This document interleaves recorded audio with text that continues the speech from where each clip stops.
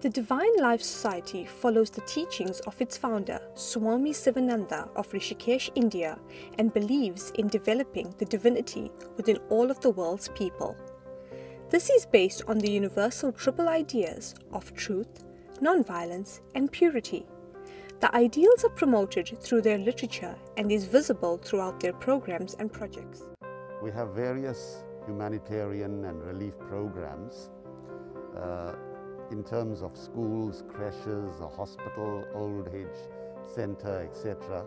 Our projects total 592 as to date.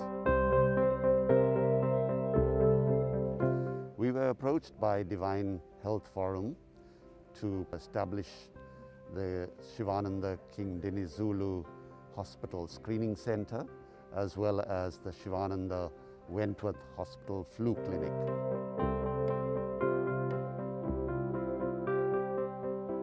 Was a Department of Health imperative to create these flu clinics, which should be placed outside of the gate uh, to serve patients presenting with symptoms and more especially patients who we think may have COVID-19. The Divine Health Forum is a non-profit organization that specializes in, hum in, humanitarian and charitable work.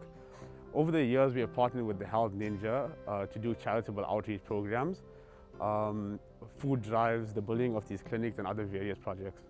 We needed something, like I said, away from the main hospital, well ventilated with natural ventilation so that we, it which reduces the transmission of the infection.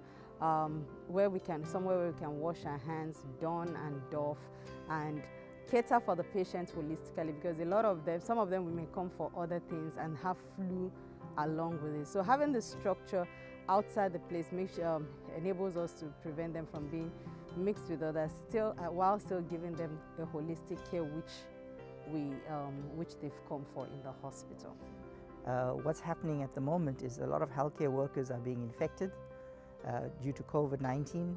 We have uh, in infrastructure within hospitals which are, are, not really equipped to deal with, uh, with COVID-19.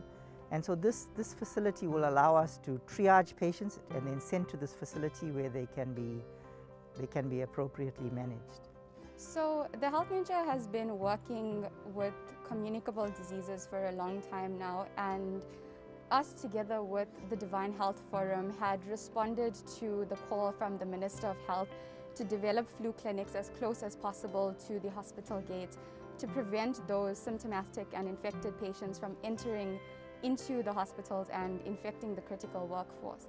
So because of our work, our extensive work in healthcare, um, we partnered with the Divine Life Society, Divine Health Forum, amongst others, to conceptualize this idea and build flu clinics and screening centers. So having this structure totally away from the main hospital gives us an ideal place to sit, deal with the patients holistically and make sure that they are not mingling with others, thereby transmitting the infection if they are infected.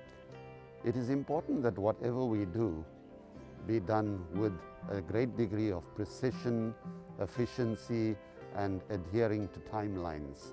I want to say without any fear of contradiction that in the case of both the King Dinuzulu Hospital and the one at Wentworth, the degree of efficiency of the Divine Health Forum contributed towards the establishment of the center very, very speedily because the hour of the need demands and warrants speedy interventions. So we feel that this was really well managed and we are grateful for that.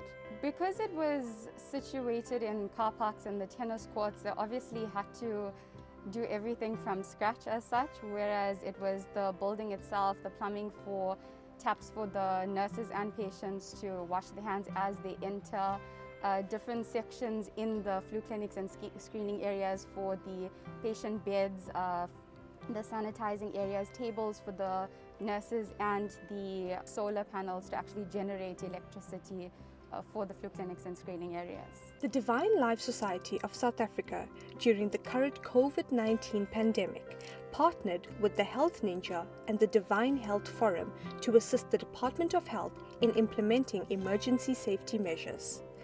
Their efforts to selflessly come together during these trying times has resulted in the establishment of much needed testing centres and flu clinics at the King Dinuzulu and Wentworth hospitals in the Durban area.